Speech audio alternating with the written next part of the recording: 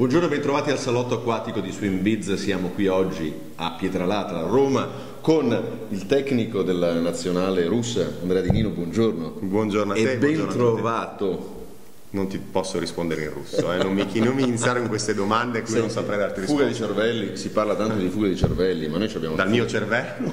No, no, in generale in Italia ed è la verità. Italiani da esportazione di cui essere profondamente orgogliosi, ma farti un'intervista con questa, con questa, bandiera a fianco, insomma, una certa emozione me la provoca, perché la Russia, insomma, voglio dire, è una delle nazionali più più ambite al mondo, una delle nazionali che ha sfornato i più grandi campioni in assoluto, Popov, Salnikov, mi vengono così a mente. Tu sei emozionato? Ma sicuramente diverso, con tutto il rispetto per Serbia e Trinidad e Tobago, con cui avevo avuto appuntamenti precedenti, è, diverso. Sì, perché tu hai avuto, ricordiamolo, hai avuto eh, con eh, ADN, ADN Swim Project eh, un progetto internazionale, sei stato eh, tecnico sì, di altre nazionali. Sì, ai mondiali del 2000, diciamo con appuntamenti più importanti, ai mondiali del 2009 con la Serbia e alle Olimpiadi del 2004 con Trinidad e Tobago d'Atene, però onestamente ha un peso specifico diverso la Russia.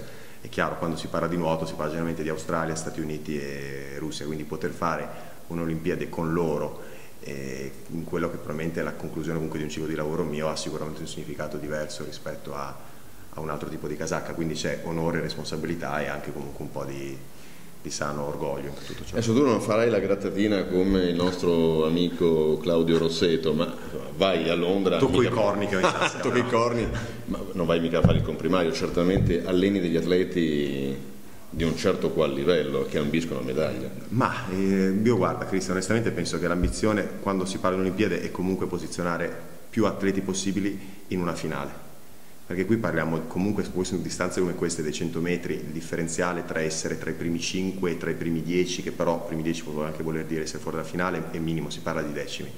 Noi a Shanghai siamo riusciti comunque a metterne due in finale, questa cosa l'hanno fatta solamente altri due club al mondo quindi siamo stati tra i tre club al mondo che hanno piazzato due atleti allenati nello stesso progetto in finale. Riuscire a ripetere lo stesso risultato per me non sarebbe un risultato minimo. Poi una volta che si è in finale, secondo me si nuota senza stress, lo stress le pressioni ce l'avranno il signor Phelps e compagnia e tutti gli altri vanno a giocarsi una finale sperando di fare il meglio. Michelino da Baltimora che sembrava facesse l'ultima in piede per salutare, insomma, per dare, dare l'addio, ma insomma poi fai trials, sette, sette, gare in programma più quattro staffette, mi pare sì, che io, non sia proprio un Phelps da... No, ma, ma, ma, Phelps non ha mai fatto una gara in disarmo, forse l'unica competizione importante è stato forse Montreal 2005 dove lui arrivò post Atene non totalmente preparato, però onestamente io non mi ricordo successivamente competizioni in cui lui abbia, si sia presentato con una forma non ottimale.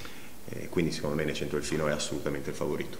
Senti, invece la nazionale italiana, tu come la vedi da fuori? Beh, sono tanti, ieri sono uscite le convocazioni, 33 atleti presenti, quindi una, una, corazzata che si aspetta molto non solo da Federica Pellegrini ma anche dai nuovi giovani fenomeni che peraltro eh, alcuni di loro si, si, allenano quasi bordo vasca con te. Sì, abbiamo, noi abbiamo, intanto dobbiamo ringraziare la Federazione Italiana Nuoto, eh, persona del Presidente, poi appunto Gianfranco Saini e Cesare Butini perché ci hanno messo a disposizione pre-sette colli per questi giorni post-sette colli l'impianto dell'acqua cetosa dove siamo riusciti a prepararci in maniera ottimale.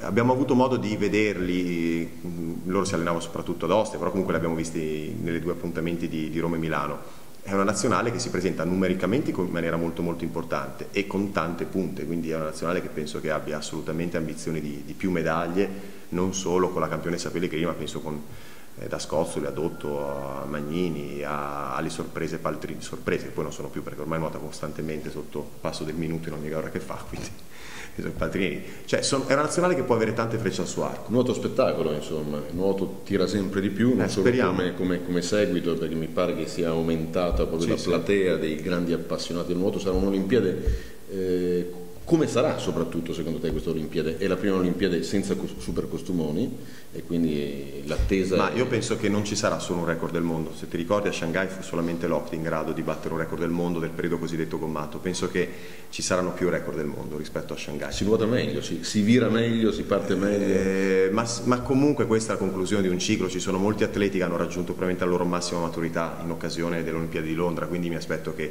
in tante gare, se non si va a fare il record del mondo, si andrà veramente molto molto vicini. Ci sono nuovi talenti, nuovi nomi, atleti storici che non sono arrivati secondo me ancora al declino della carriera, come dicevi tu prima Michael Phelps.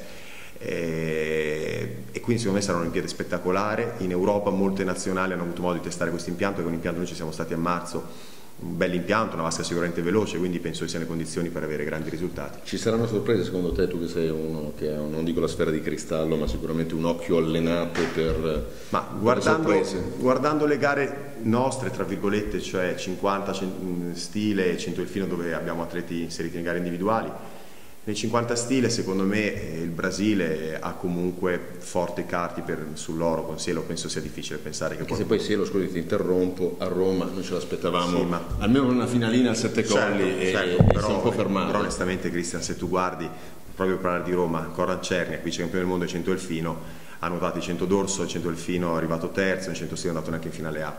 Cioè momento, se sei molto in forma a sette colli, secondo me è poi difficile pensare che tu possa esserlo alle Olimpiadi perché i tempi sono molto ristretti. Certo. E quindi secondo me nei 50 stile se parliamo di medaglia d'oro è difficile pensare che ci possa essere qualcuno più veloce di Siero. Nel 100 delfino mm, idem, nel senso che ritengo Phelps nettamente favorito, però nel 100 delfino secondo me se Phelps dovesse arrivare in condizioni non ideali, secondo me Coran Cerniak può essere quello che gli può dare fastidio fino agli ultimi metri. Sarebbe ovviamente una grande sorpresa perché lui non perde una medaglia da sei anni se non mi sbaglio. So che è una domanda un po' imbarazzante, sarà, anche, sarà l'Olimpiade di Federica Pellegrini? Ma io penso, adesso da tifoso, Ce lo auguriamo tutti da quanti. tifoso penso di sì, nel senso che ha esperienza, tifoso. talento, classe è allenata dal migliore allenatore italiano, da risultati alla mano, quindi onestamente le condizioni ci sono tutte.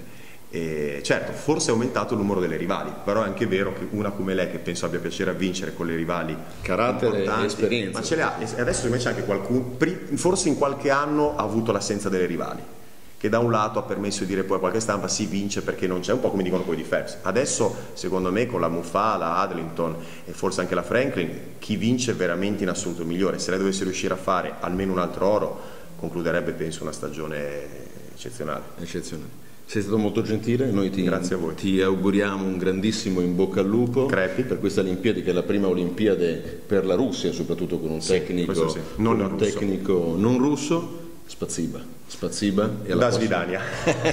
alla prossima Duce Biz. Grazie ciao, a voi, buona giornata, ciao.